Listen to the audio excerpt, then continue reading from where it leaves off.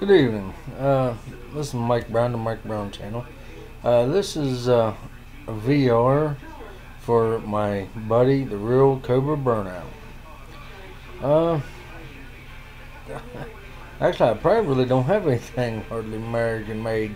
Uh, unfortunately, Walmart's about the closest store to me, and as you know, everything Walmart has pretty well Chinese. You know, I did buy a Smith & Wesson SD9 VE there about a month ago, but uh, I haven't really done much with it yet because it's been wet. I don't want to go outside and and uh, you know end up hurting myself or whatever, you know, slipping because my yard gets real muddy and uh, well, it's a yard. Uh, American made. Well, there's a shelf right here that's uh, American made. Uh, my wife's grandfather made it when she was a child, uh, and my wife's 40 years old now. Uh, 42 to be exact, and uh, it's been here since then. Since I think she said she was about 10 years old when he built it. And uh, the house was built in the 40s. So, yeah, that's what I got. American made. Uh, you know, um, I drink a lot of water from the Niagara. Uh, but it's it's, uh, I believe it's Ontario, California, but I'm not real sure.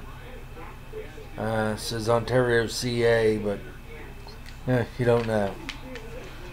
I, I didn't really check up on it, but uh, yeah, I'm pretty sure this this house is the house itself was uh, American made. Everything in it. Uh, it's not changed since our grandfather and grandmother built it, and uh, it's a small house. Of course, it was built during the the 40s when you know Dust Bowl and all that good stuff was going on. Or at least that's what I was told. I don't really know, but uh, but it's, it's still standing, still livable.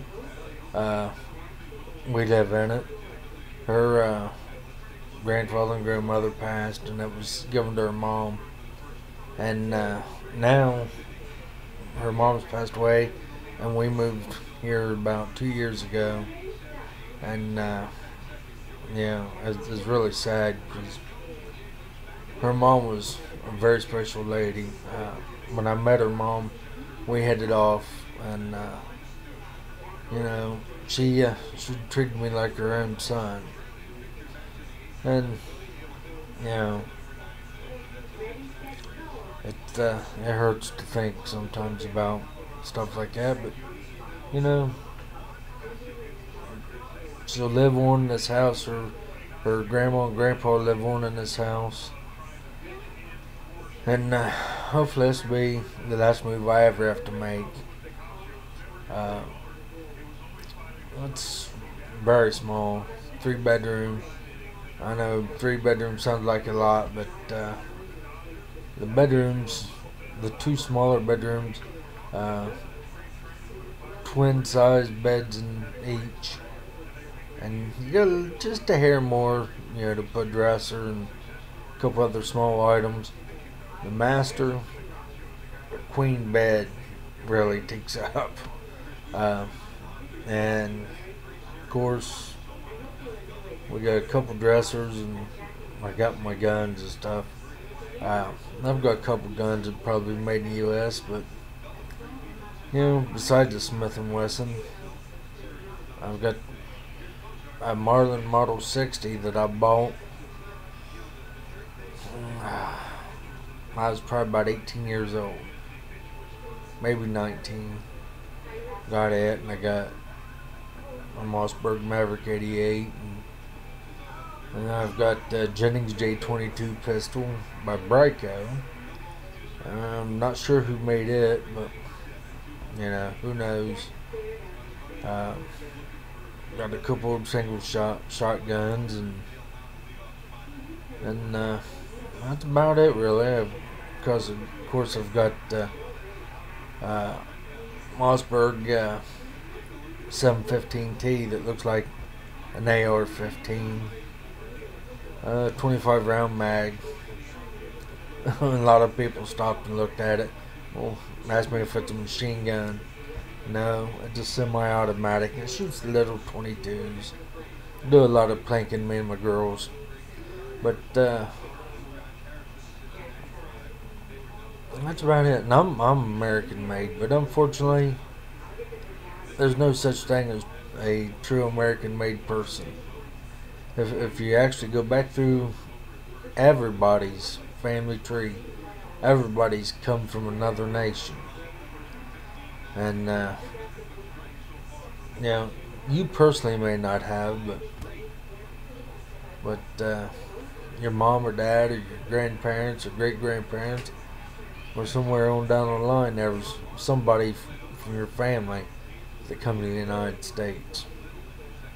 And, uh, but that's another, that's another, uh, video.